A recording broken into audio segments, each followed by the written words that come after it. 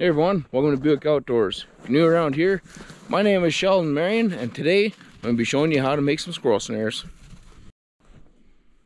So essentially what we're going to be doing today is just recreating like a squirrel running pole and you'll see them quite a bit. Like this tree here, that's down. You can see where the squirrel has run across this.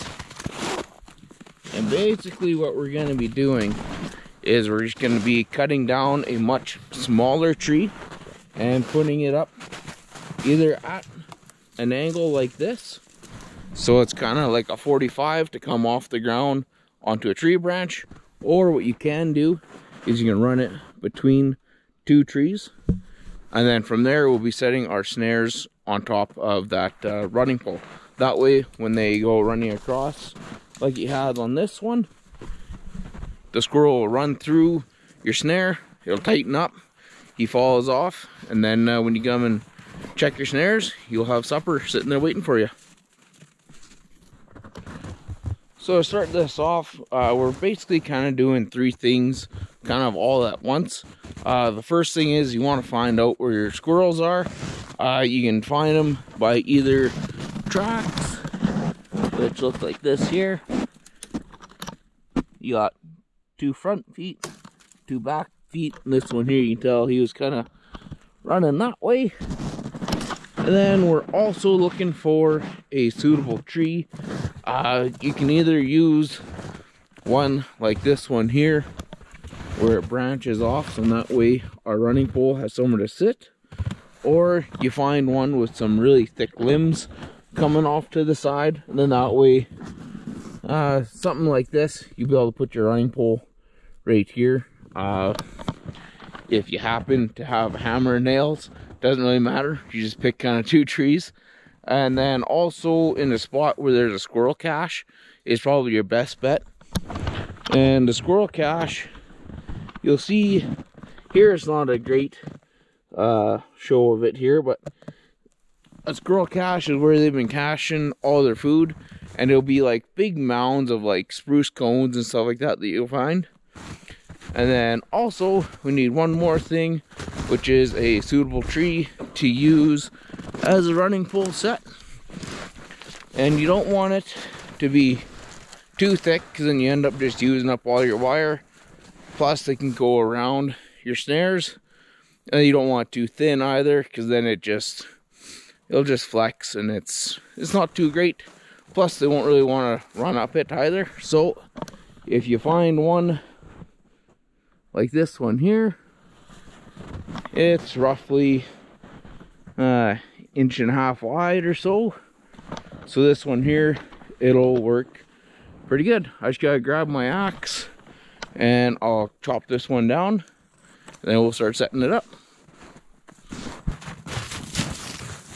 I don't like Alrighty, so we picked up this tree here that we're going to use for our squirrel snares. Might as well take off these branches while standing. Makes it a little bit easier.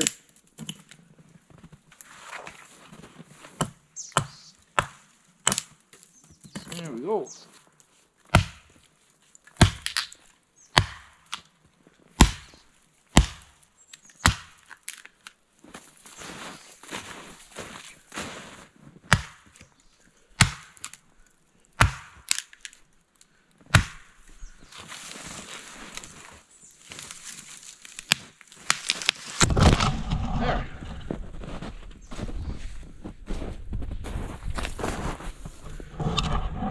So now we got our tree down, I'm gonna take off a bunch of these branches.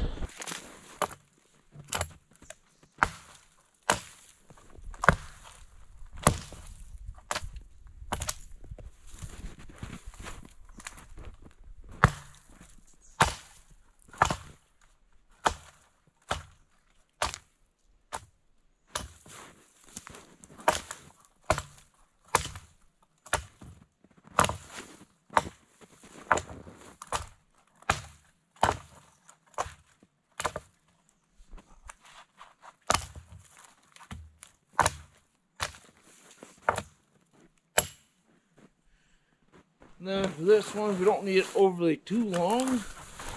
Right about here, we'll cut her off.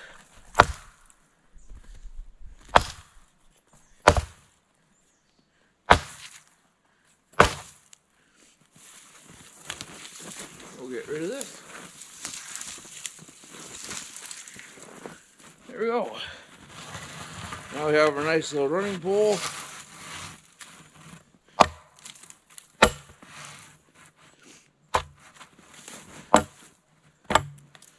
Now we'll take this over to our tree, get it all set up.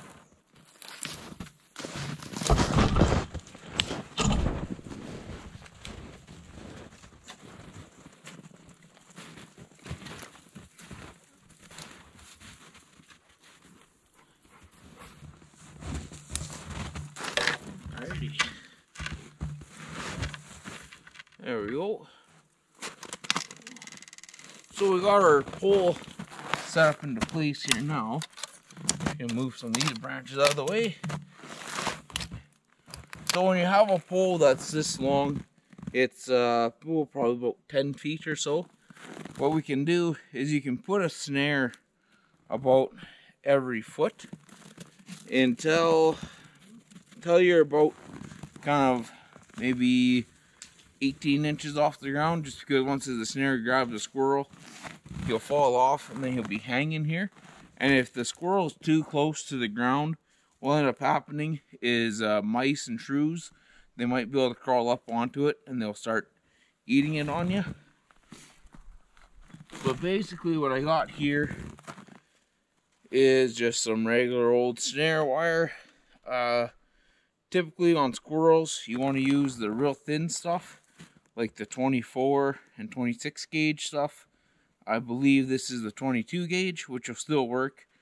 Uh, the thin thinner stuff is meant so it actually goes behind their jawbone and you get a really good catch on them that way they uh, they go really really fast. If you use the thicker stuff it might not quite get underneath as tight so and they might kind of it might take them a few extra seconds to uh, to go. But anyways, I'm gonna cut off a chunk of this and I'll show you just how I make my snares. Okay, so I got my snare wire here. We don't need overly too much. Well, not much will work. Then I got my Leatherman.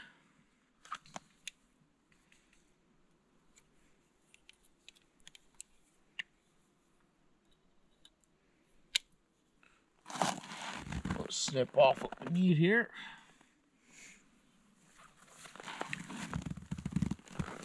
Now basically what I'm doing is I'm taking this tail end here. I'm gonna make a small little loop. So now you have this little circle here. Grab that, just wrap this around itself.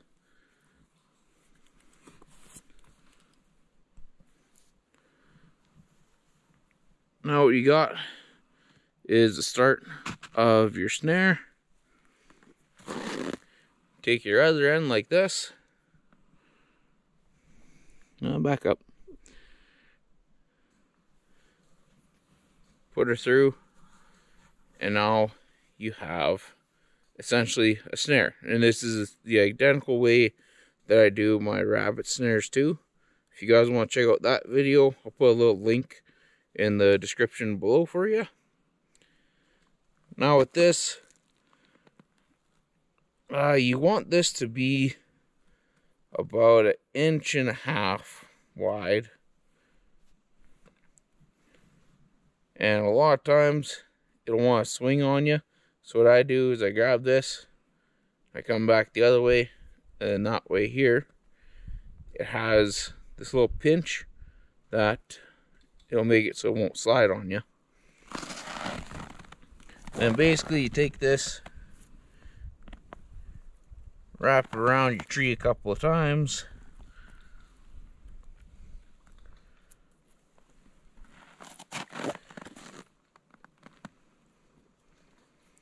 Try to keep it as tight as possible. Some days it's a little difficult.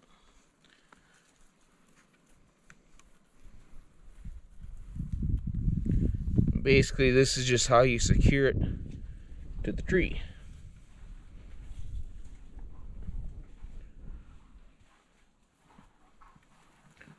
So now that's good and tight there.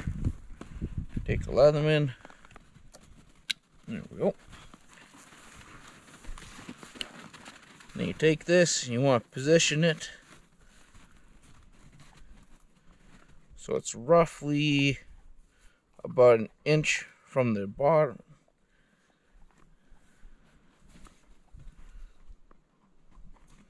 And this is usually about the hardest part is just trying to get your wire to kind of work with you. So now we have that set up. What'll end up happening, I need to be down just a little bit more. Now we're getting close. So what'll end up happening is as the squirrel's running around here, you want to climb up this tree, but him being lazy, instead of going up the tree itself, you'll see your little running pole. And what'll happen is he'll run up here, and as he's running up to get into the tree, right there's your snare. So, as he's coming up like this, he runs through the snare.